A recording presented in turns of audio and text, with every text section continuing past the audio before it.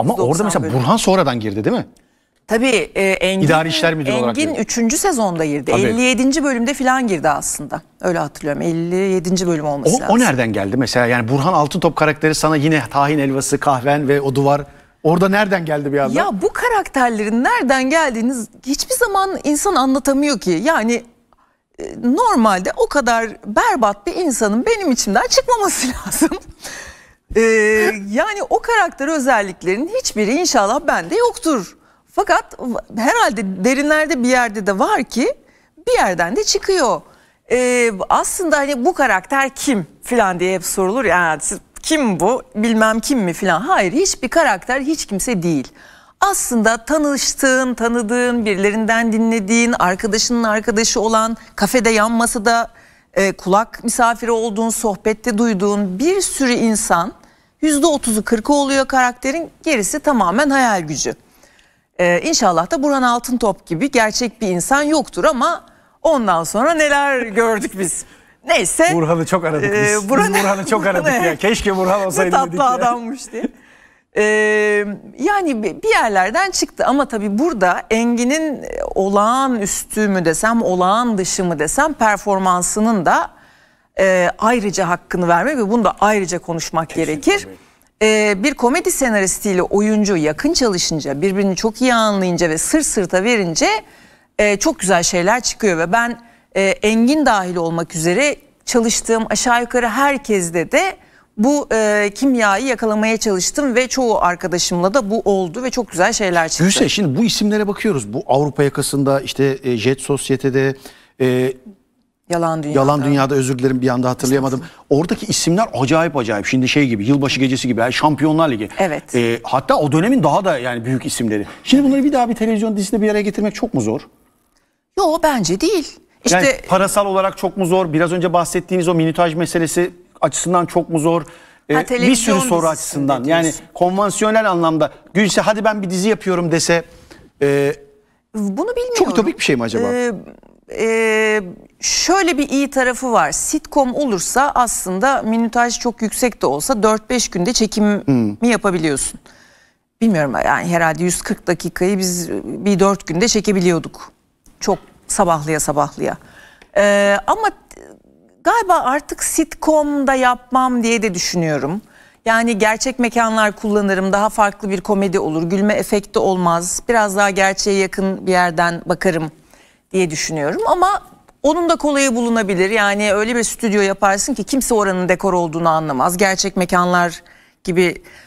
Ya sıkıntı biraz televizyon seyircisi artık ölçülen televizyon seyircisi Avrupa yakasını hatta yalan dünyayı izleyen seyirci değil. Artık o seyirci ölçülmüyor reytinglerde. Ee, o kadar dramatik bir fark var ki ben şu an düşünüp inanamıyorum. AGB zamanında Avrupa yakasındaki AB grubu e, ölçümünde annenin ve babanın üniversite mezunu olması gerekiyordu. Ee, işte haftada ayda belli bir sayıda tiyatroya gitmen gerekiyordu. işte sinemaya gitmen gerekiyordu. işte yılda birkaç yani AB grubuna girmek o kadar zor bir şeydi ki yani kültürel ölçüler vardı. Ee, sosyokültürel ölçüler vesaireler vardı. Şu an galiba evinde bulaşık makinesi varsa AB grubuna girebiliyorsun.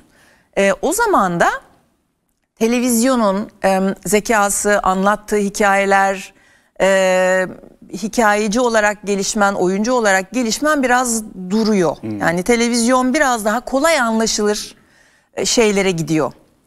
E, onun için ben yazmakta zorlanabilirim. Evet birçok arkadaşım artık dijital platformlara çalışmak daha konforlu bir şey. E, daha iyi çalışılan işler oluyor. Yani her hafta o her hafta koşturması olmuyor.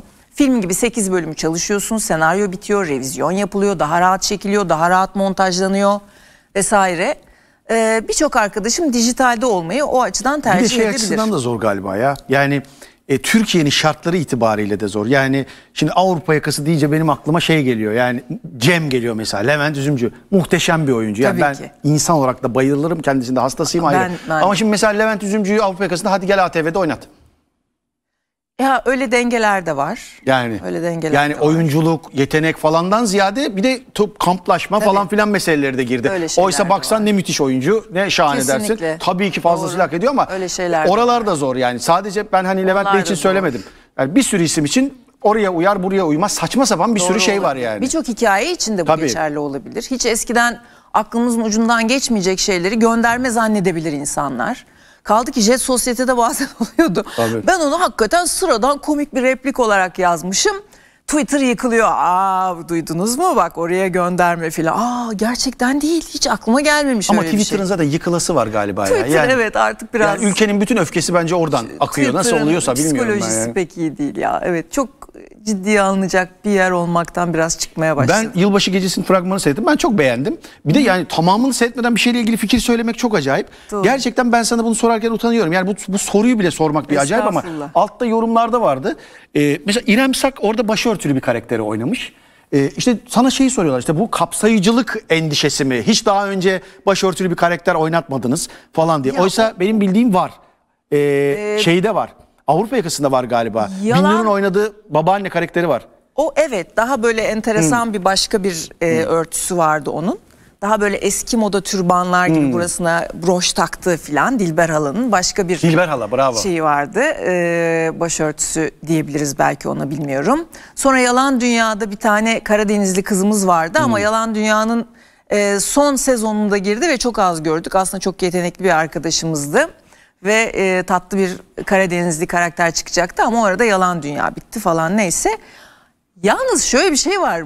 Yılbaşı gecesindeki İrem'in oynadığı başörtülü bir karakter sürprizini açığa vermek istemem filmimin ama başörtülü bir karakter pek diyemeyiz. Hmm.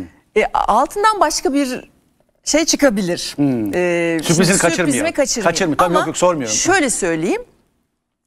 Ben hiç öyle bir başörtülü hanım tanımıyorum. Öyle bir başı açık hanım da tanımıyorum. Çok nevi şahsına münhasır, çok farklı bir geçmişten gelen, altından ne çıkacağını bilmediğimiz, e, tamamen hayal ürünü ilginç bir tip. Ya karakterin Ve kıyafet... İrem de muhteşem Ya, oynadı. Muhtemelen öyle ama yani karakterin e, kıyafet tercihi bir kadının yani oynadığı Evet, bu nedir yani bu ilginç. bunu niye konuşuyoruz ve biz bunu niye Evet. soruyoruz? Ama gerçekten baktım mesela bu şeylerde falan sözlüklerde yazan olmuş, Twitter'da yazan olmuş falan. Bir garip bir şey. Ee, Yani bir hiçbir kesimi temsil etmiyor Hmm. onu söyleyebilirim.